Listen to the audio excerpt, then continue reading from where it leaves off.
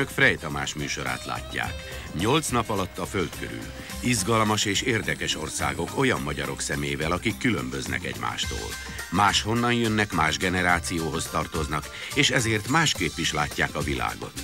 A ma esti helyszín Burma, egy véres diktatúra, ahol mégis szinte mindenki mosolyog.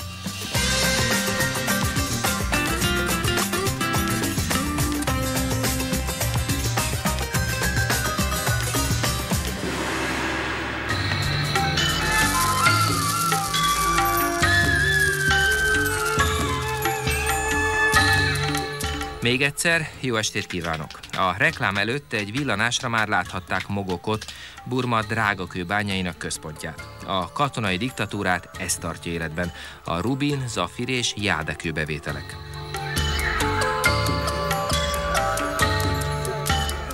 Ágék bármerre mentek, kőtörmelékek között turkáló embereket láttak. A burmaiak ugyanis, ezt a közelmúltban engedélyezték nekik, a tábornokoktól kibérelhetik a már kimerült, egyszer már átfésült bányákat, hát ha szerencsések és találnak még bennük valamit. Ha igen, akkor a kövek 80%-a megint csak a tábornokokat illeti, de a maradék 20%-ot, vagyis 5 kőből egyet ők maguk eladhatnak itt a drága kőpiacon. Átvilágítja ezzel a fényforrással, és akkor látja, hogy van-e benne törés, vagy van-e benne valami olyan hiba, amitől esetleg értéktelenebb lesz. Mogokban manapság olyan a hangulat, mint egykor az alaszkai aranyláz idején lehetett. Mérlegek, alkudozás, lögdösödés és kiabálás, mindenki a szerencsét keresi. Tehát ez még ö, nyers tulajdonképpen, mert nincs ö, sem csiszolva, sem ö, formára vágva. 70 ezer burmai kiat 15 ezer forintot ér. Ez itt sok pénz, úgyhogy vannak, akik mogokban, persze csak burmai mértékkel, gazdagnak számítanak. A piacon néha megcsillannak az aranygyűrűk, a speciális rubinlámpák és maguk a kövek.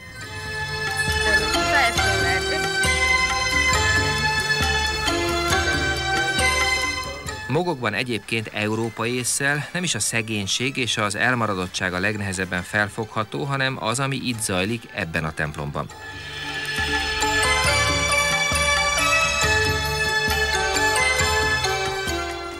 Tábornokok által hátrahagyott drágakőbányákban ugyanis nem csak 10-15 ezer forintos köveket lehet találni, hanem néha vagyonokat érőket is.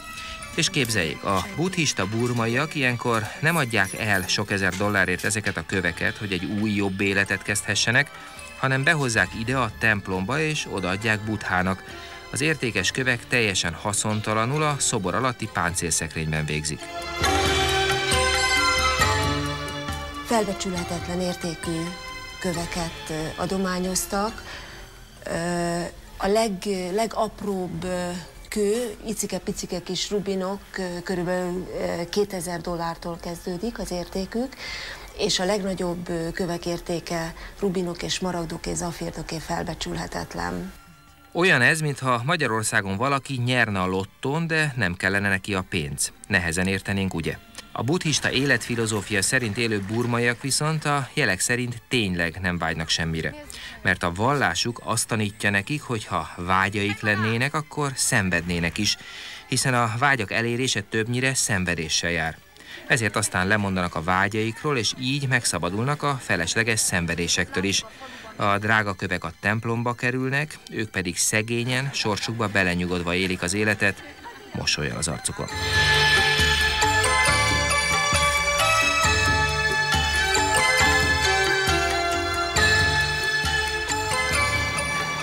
Ivánék közben visszatértek Burma fővárosába, Rangumba. A buddhista életfilozófia legelképesztőbb jelképe itt, ebben az 5 milliós városban található. Az arany tetejű Svedagon pagoda.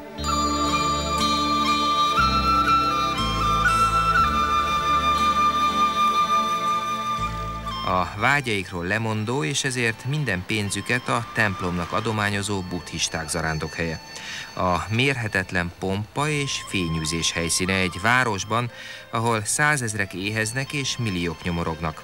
Az anyagi jólétre és biztonságra vágyó európaiak eszével érthetetlen hely. Ez a világ legnagyobb és legősibb pagodája, 2600 éves, és a kupolába 3,8 tonna aranyat építettek, és 6 évenként újítják fel. A helyi buddhisták azzal büszkélkednek, hogy több aranyat halmoztak itt fel, mint az angol nemzeti bankban. És valóban, a 100 méter magas harang alakú színarany stupa majdnem 4 tonna. De ez még nincs semmi. A díszítése 5500 gyémánt, 2300 rubin és több ezer zafír, valamint topáz. Elképesztő. Mindez pedig Buddha 8 eredeti hajszálára épült. Szent hely, amit azért építettek, hogy itt őrizzék a hajszálakat. Ennek a gyönyörű szép épületnek a tetején 76 karátos gyémánt van. Szóval mondom 76 karátos gyémánt, amit este, amikor megvilágítanak, akkor egy nagyon-nagyon erős piros fény jön ki belőle, ő lesz az, és ezt este is lehet látni. Bár itt mindenek csupán eszmei értéke van, azért összehasonlításképpen talán érdekes lehet, hogy a minap Genfben a Sotheby's aukciós ház egy hasonló méretű gyémántot két és fél milliárd forintért árverezett el.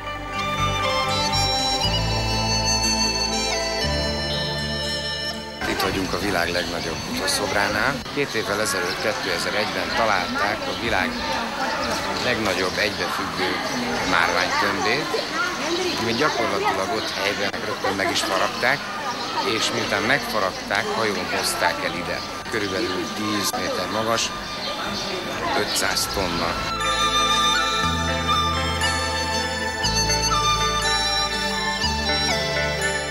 Burma a legvallásosabb, ha lehet így fogalmazni, a legbuddhistább buddhista ország a világon. Az 50 millió burmai több mint 80%-a az ortodox buddhizmus a Theravadin követője.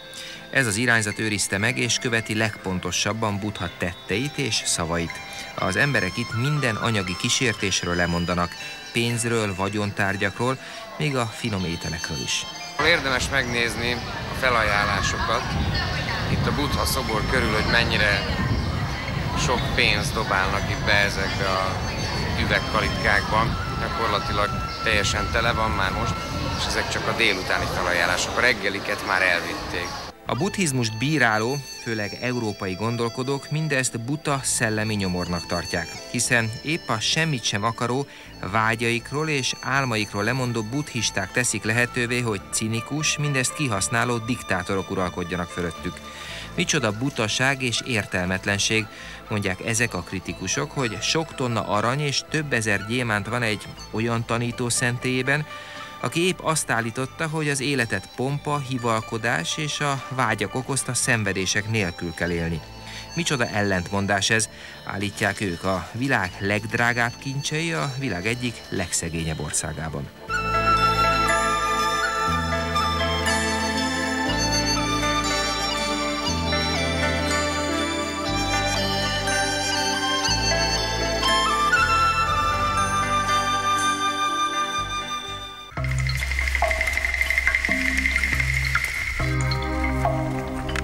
Aranykincsek persze nem csak a fővárosban, Rangumban vannak, hanem Burmában mindenütt. Bárhol máshol a világban, hogyha ez egy ilyen klasszikus turista útvonalon lenne, amiről már beszéltünk, akkor azért, hogy belépjünk ebbe a templomba, kifizettünk volna a dollár tizeket, huszakat, forintba sok ezer forintot. Bagámban például a Stuperdőben lovaskocsizva mi is találtunk szentélyeket tele ülő és álló óriás aranybuthákkal. Pici buthák néz. Egész magas és ezek tényleg ott vannak a semmi kellős közepén. Nem vigyáz rájuk biztonsági szolgálat, és mégsem jön senki lángvágóval, hogy hazavigye és beolvassza őket. Egyszerűen csak ott vannak évszázadok óta.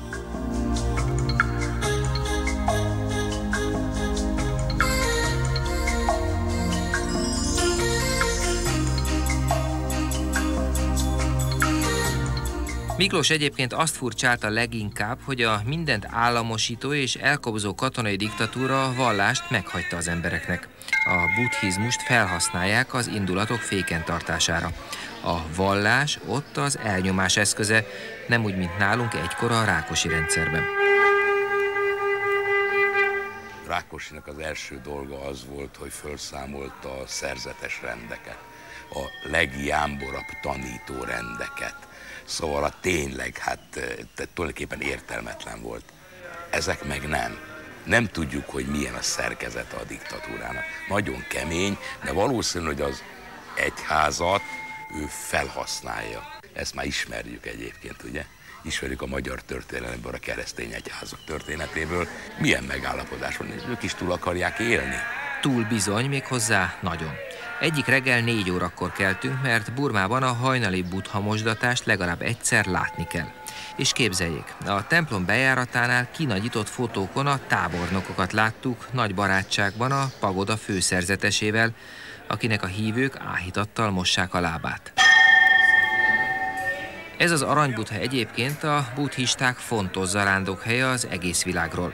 Úgy hiszik ugyanis, hogy pár év múlva az aranyszobor életre kell majd, ezért mosdatják meg minden reggel, felkészítik az emberi létre dezodorok, fogmosás, arcpacsuli. A vallások, a papság ellen érvelők ezt nevezik népbutításnak. Ha visszamegyünk az európai történelemben, akkor tudjuk, hogy az egyházaknak mindig voltak olyan dolgaik, olyan tradícióik, olyan intézkedéseik, amikkel az embereket igyekeztek megfogni, igyekeztek terelni, akár a középkorban, a kereszténységben is. Ezért ez az egész így egy nagyon fontos. Miklós még Gábornál is erősebben fogalmazott. Amit ott látott, a fényképek a vitrínben, a tábornokoknak hajbokoló főszerzetes, aztán az ő lábmosdatása, számára ez kínos összképet nyújtott. Együttműködés van, ez nem kétséges. Együttműködés van köztük. Hallgatólagos, vagy, vagy, kimondott, titkos, vagy nyilvános me- megegyezés van. Diktátor és a főnök, a papfőnök között kiteszi a fényképét, hogy azt nem mondja, milyen koreai hasonlattal, hogy a, az aranyfüst ragasztásban a helyszíni útmutatások ottan be vannak mutatva. Azért ez egy kicsit gáz.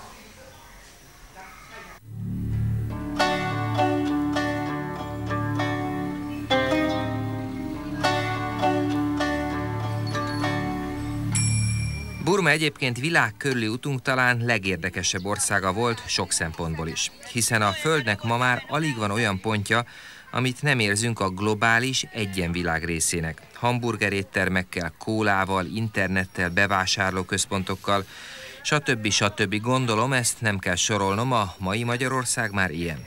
Burma viszont teljes belső és külső elszigeteltségben él, aminek a legjobb példája, hogy innen még telefonálni sem lehet külföldre sőt, országon belül sem egyszerű. Az 5 milliós fővárosban például csak ritkán lehet ilyen asztalkát találni, ezek ugyanis a burmai nyilvános telefonfülkék. Itt vagyunk a helyi telefonfülkénél, ami műanyag zacskóba van zárva, és két nagyon kedves segítőkész hölgy gondoskodik arról, hogy elboldoguljunk, ha lokális hívásokat szeretnénk eszközölni.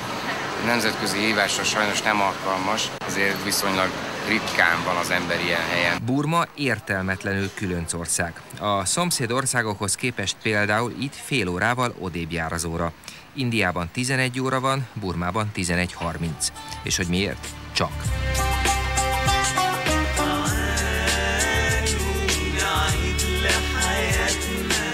De a közlekedés is zagyva és egyedülálló a világon, mivel két eltérő rendszert egyesít logikátlanul és életveszélyesen. Azért zavaros kicsit leszállni innét, mert ugye kénytelen vagyok az úttestem kiszállni. Elméletileg jobb oldalon van a kormány, elméletileg bal oldalon lenne a közlekedés. Ezt már megszokhattuk itt Burmában, hogy minden egy, egy kicsikét, mint egy kicsit ilyen datszerű lenne, hogy azért sem. Tehát itt jobb oldalon van a kormány, és jobb oldalon is közlekednek.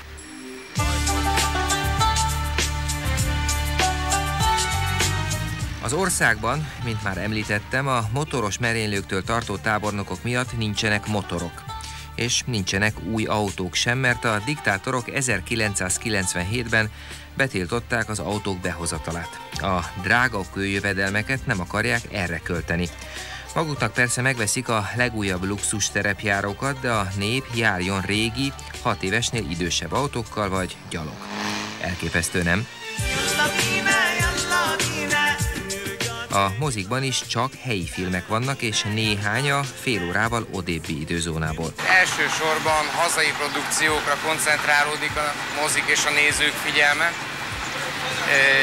Másodszorban indiai filmeket lehet nézni, Nem ártana egyébként otthon sem, hogyha elsősorban azért hát foglalkoznánk egy kicsit a saját filmjeinkkel is. Mondja a színész Kamarás Iván félig viccelődve, de azért én hadd tegyek hozzá egy elgondolkodtató statisztikát a mi régiónkból. Tavaly a nálunk kisebb lakosságú Csehországban a legnézettebb hazai, tehát cseh filmre 1,2 millióan voltak kíváncsiak. A 10 milliós Magyarországon a legnézettebb magyar filmre 90 ezeren. Szólhat ez persze arról, hogy rosszak a magyar filmek, de arról is, jut eszembe Burmáról, hogy mi aztán tényleg ész nélkül építjük a globális magyar bevásárlóközpont országot, veszítve el minden saját karakterünket. Burma persze nem, és hát azért valószínűleg ez sem jó. Itt, csak úgy, mint a filmek, minden hazai termék. Ettől aztán az utcák úgy néznek ki, mint egy nagy bolhapiac. Itt ugyanis mindennek megvan a hamisítványa burmai névvel. Burmai kóla és burmai hamburger. Az íz majdnem ugyanaz. A címke és név viszont más. Beszélhetünk üdítőkről, háztartási, kozmetikai vagy divatcikkekről. Amióta úton vagyunk most már ide lassan két hónapja, ez az első ország, ahol ahol tényleg nem találkoztam azzal a globalizációval, ami, amit szinte bárhol a világon eddig találtunk, akár még kis faluba bejutottunk, mindenhol találkoztunk valami nagy multicégnek a termékével. Kolát itt is talál az ember, csak nem azon a néven, ahogy mondjuk Nyugat-Európában vagy pedig bárhol a világban fut, hanem azon a neve, hogy Nyema kóla, itteni kóla, és hozzáteszem, hogy ízileg nem sokban különbözik tőlem.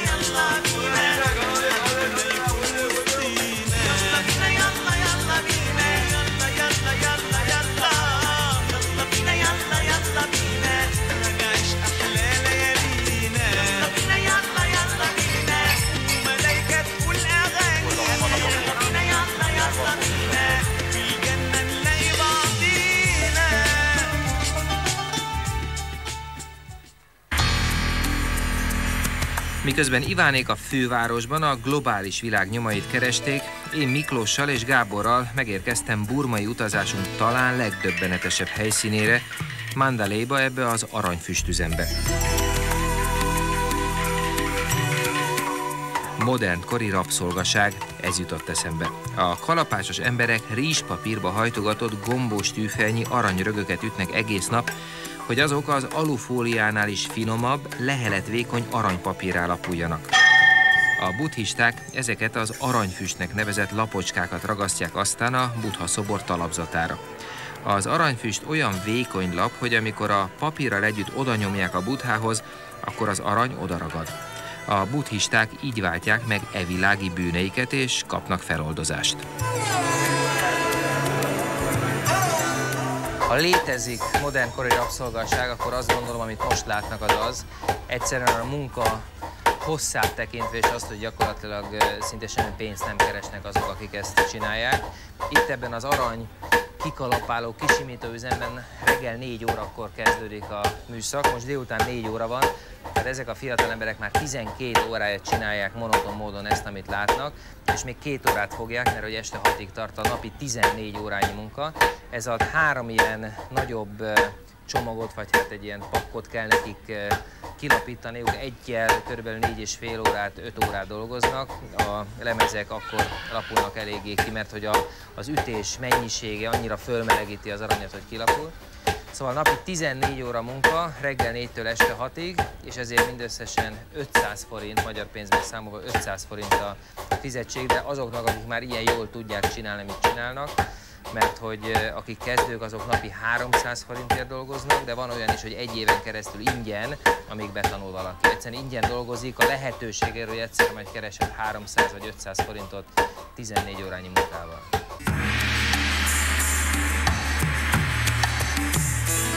Az aranyfüstüzemben sűrítve ott találtuk a harmadik világ összes dilemmáját. A gyerekmunkát például, amit New Yorki légkondicionált ENSZ irodákból könnyű elítélni. A helyszínen viszont kiderül, hogy parancsszóra nem fog megszűnni, mert a családoknak ott minden egyes dollárra szükségük van. Azt a kisfiút, aki ott az a sárga ruhás, hát én Isten bizony, szerintem 8-9 évesen nem lehet idősebb. Nem, biztos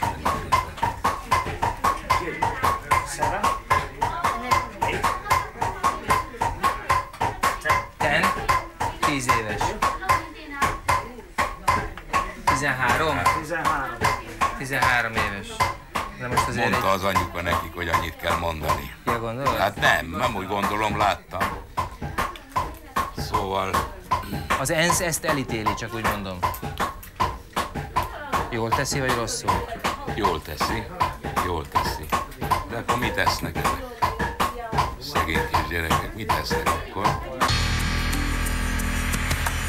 Önök hogy gondolják? Egy gyerekmunkát tiltó ENSZ dekrétum, vagy a burmai diktatúra Saddam Husseinéhez hasonló megdöntése oldhatná ezt meg? Vagy esetleg semmi, mert hogy nincs jó megoldás. Mert a világ már felfoghatatlanul bonyolult, túlnépesedett és helyrehozhatatlanul el van rontva. Rizspapír gyártó szuterén üzemekkel és robotoló nőkkel zsúfolva. Válasz erre az, hogy ne gondoljunk rá, örülve annak, hogy nekünk, magyaroknak szerencsére nem ez a sors jutott? Körülbelül másfél méterrel vagyunk a föld alatt, állítólag ez így jó. Páratartalom miatt, ezt meg tudom nagyon érteni, tetszenek látni, ugye? Hölgyek nem izzadnak, úgy látom. Egy percig vertem körülbelül, és ki vagyok, mint a liba. Most ezek a hölgyek itt naponta 8-10-14 órát nyomják ezt, rizspapírt rizspapírt vékonyítunk, ez nem aranylemez, ez szükséges a aranyfüstnek a gyártásához. Ilyen irgalmatlan fadorongokkal kell ütni ezt a papírt, hogy vékonyabb és szárazabb legyen állítólag. Az élével kell ütni, nem alapjával, ugye? Ezzel az élével kell ütni. Igen. Igen. Igen. Szóval, kedves burmai esélyegyenlőségi miniszter. Van ilyen? Nem hiszem. Szóval ezeket a hölgyeket nagyon sajnálom, és olyan szépek. Köszönöm szépen. Az egész olyan hiába valónak tűnt. Naphosszat izzadni, hogy kilapuljon az aranylemez, hogy aranyfüst legyen belőle, amit aztán a Buddha szobor talapzatára lehet ragasztani. Hiába valónak tűnt az egész, de Miklós másképp gondolta. Szerintem mi magyarok is csinálunk épp elég értelmetlen dolgot.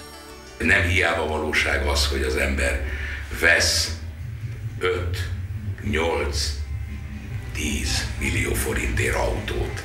Van értelme annak, hogy 10 millió forintot keresünk azért, hogy azzal autózunk, mikor, mikor kettőért is lehet autót venni, sőt, taxizni is lehet. Vagy ö, vesz az ember magának a testére valami ruhát, ami ilyen-olyan, amolyan. Sokszor egy emblémáért, mi mindnyájan, akik ott fenn vagytok ti is, egy emblémáért hajlandók vagyunk nagyon komoly összeget fizetni. Miért? Miért? Ugyanolyan cérnából készült trikót lehet kapni, nincsen rajta embléma, az egy tizedéért. Szerintem a hiába valóságnak áldozunk, vagy a saját hiúságunk oltárán áldozunk nagyon-nagyon komoly pénzeket. Érdemes?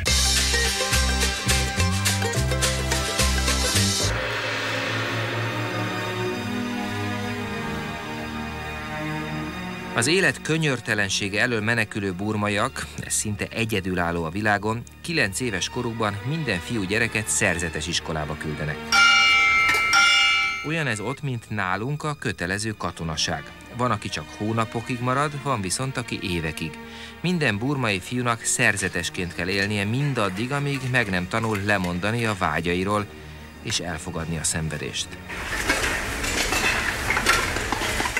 A szerzetes gyerekek, amikor kolostorba vonulnak, borotfát, derékövet és egy tányért vihetnek magukkal. Csak adományokból élhetnek, de pénzt nem fogadhatnak el, csak ételt. Ha nem kapnak, akkor aznap éheznek.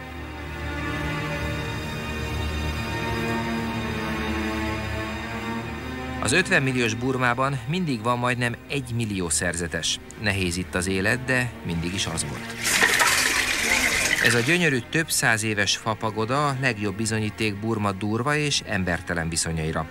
Arról mesél, hogy ez mindig is kegyetlen ország volt, nem csak most a katonai diktátorok idején. Ezek az emberek, ez a világ, ez mindig nagyon kegyetlen volt. Hogyha megyünk vissza a történelembe. Ez a templom úgy került ide, hogy 120 évvel ezelőtt az egyik királynak a Jósa azt mondta, hogy ahol most lakunk, az innen volt 20 kilométer, Amarapura az nem jó hely, az ott a halál, a pusztulás, innen el kell menni, és azt mondta, hogy ide kell építeni egy új várost. És akkor a király azt mondta, hogy jó, akkor most az egész várost 150 ezer emberrel együtt áttelepítjük ide. Szétszették a várost, szétszették ezt a templomot, szekére rakták, és idehozták. És azt mondta a király, hogy aki nem jön, az maradjon ott. Néhányan ott maradtak, egy pár tízezeren. Ráig csukták a városkaput, meggyújtották, és a várost az ott maradó tízezrekkel, 10-20-30 ezer emberrel együtt egyszerűen földgyújtották. Tehát az nem volt, nem volt probléma. Ugye egy másik történet, bár ez nem ehhez tartozik, hogy egy másik király, másik Jós azt mondta, hogy iszonyatos himlőjárvány lesz az itt élő külföldiek miatt, aki itt külföldi, ezt mind fel kell akasztani. Másnap bekopogtattak a külföldiekhez azokhoz, akik 10-20-30 éve ott éltek, ott dolgoztak és felakasztották őket. Nem volt probléma, nem volt mennyiség. Tehát itt az az érzés az embernek, hogy, hogy ez más nagyságrend, az emberi élet nem számít. Az számít, hogy egy ilyen templom hogy néz ki. Non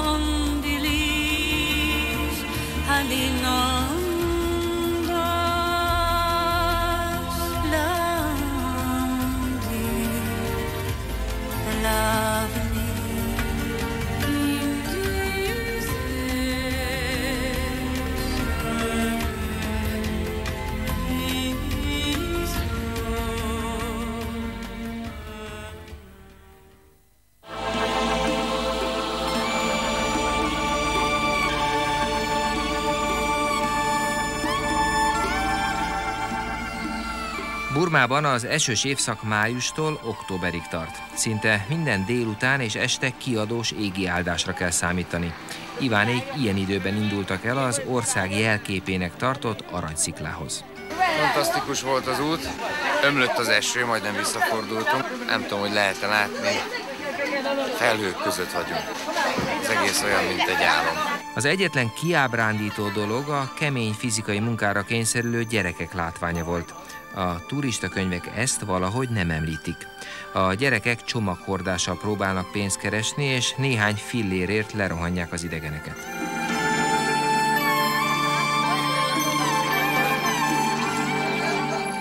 Ültünk fenn a platón, egész odaig beszélgettünk, nevetgéltünk, és amikor odaértünk, akkor meg egy pifi leesett hozzánk, hogy te jó Isten, hova csöppentünk bele.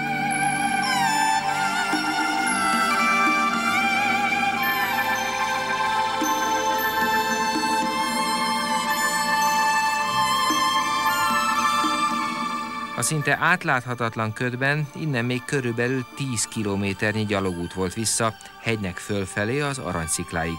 Már majdnem esteledett. Szandék az órukig sem láttak, úgy baktattak felfelé, de megérte. Olyan érzése volt az embernek, mint hogyha egy menne fel a mennybe, tényleg így bementünk először a felhők közé, aztán ebben a nagy tejföldben ilyen olyan igazi, misztikus érzésük volt. Úgy éreztem, hogy, hogy most valami földön túli történik velem, és, és, és megmagyarázhatatlan az egész. Az apró, alig 5 méteres pagoda egy olyan aranyjal befuttatott fejformájú szikladarab tetején épült, amely egy másik szikla legszélén áll, és állandóan azt az érzést kelti, mintha épp abban a pillanatban akarna lezuhanni a mélybe. A burmaiak természetesen azt állítják, hogy a billegni látszó szikladarabot a tetején álló pagodában őrzött butha hajszál tartja mozdulatlanul.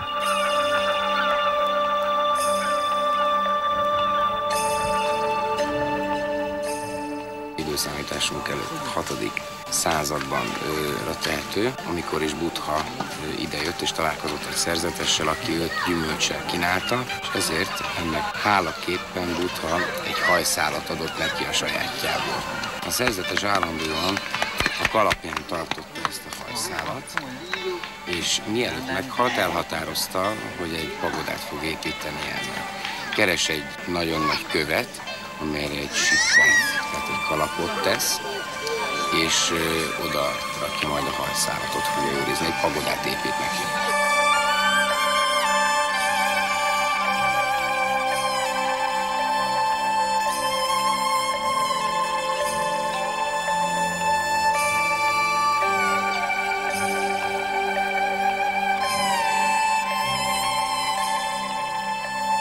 Köszönöm szépen, hogy megtiszteltek figyelmükkel. Találkozunk két hét múlva. Ugyanitt, ugyanekkor akkor megyünk a következő egzotikus politikai berendezkedési országba, Iránba. Úgyhogy viszontlátásra Iránból két hét múlva. Ugye milyen gyorsan telik az idő Frey Tamás és a Nokia társaságában? Beszélgetéseinek semmi sem szab határt, hiszen a Pannon GSM 5 kontinens több mint 200 mobil szolgáltatójának segítségével biztosítja az ön elérhetőségét szerte a világban. Frey Tamást és híreit a Malév hozza el önnek a világ minden tájáról. Malév, szállunk rendelkezésére. A földkörüli út nehézségein a Hyundai lendülete segítette át a résztvevőket. Az expedíció tagjainak felszerelését és ruházatát a The North Face biztosította. The North Face. Fedezd fel a világot. Az utazók mellett az otthon maradt családtagoknak is biztonságot adott az élet- és vagyonbiztosító, a piacvezető Allianz Hungária. A műsor fotótámogatója a Fotohol.